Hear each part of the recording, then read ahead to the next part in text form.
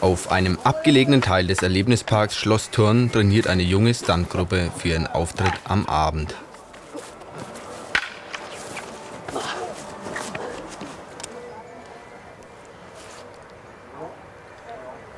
Auch wenn die Kämpfe gefährlich aussehen, folgen sie einer genau abgestimmten Choreografie. Äh, Angst haben wir eigentlich keine, wir kommen damit sehr, sehr gut zurecht. Ganz einfach wegen des Trainingsaufbaus. Also wir gehen jede Bewegung, die wir vorher machen, erstmal wörtlich durch und dann immer im Schritttempo. Dieses Schritttempo wiederholen wir 10, 20 Mal, solange bis wir uns sicherer fühlen und erhöhen dieses Tempo dann langsam, bis wir irgendwann Showgeschwindigkeit erreichen. Also ist, wir spulen das Programm, die Bewegung im Endeffekt nur noch ab.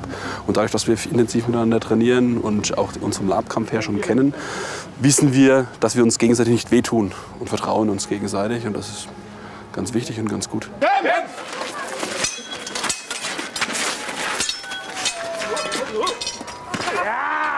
Der Nachmittag startet mit einem kleinen Warm-up. Die Stuntmänner trainieren und die Zuschauer bekommen eine erste Kostprobe für den Abend. Die Bewegungsabläufe sind nun schneller und die Kämpfe ernster. Was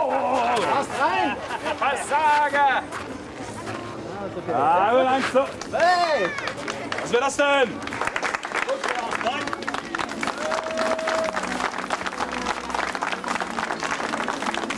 Das waren euch die wundervollen Zahnschwölfe. Ja, hauen wir ab. Also, bis dann. Ciao. Der Gruppe werden nur die Unkosten und das Feierabendbier bezahlt. Die Gründe für ihren Sport sind also andere. Weil es mir unheimlich Spaß macht, weil es mir darum geht, aus meinem Anzug herauszuschlüpfen, in meine Rüstung hineinzuschlüpfen und das, was ich früher mit Lego und Playmobil dargestellt habe, selbst zu erleben.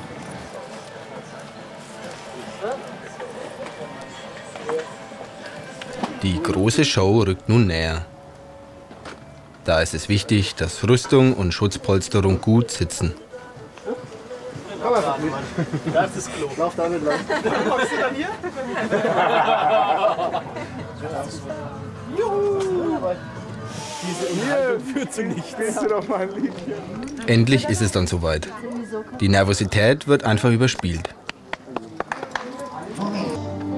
Kam es, dass Barnabas mit seiner Armee die Feierlichkeiten anlässlich des übergebenen Kristalls störte.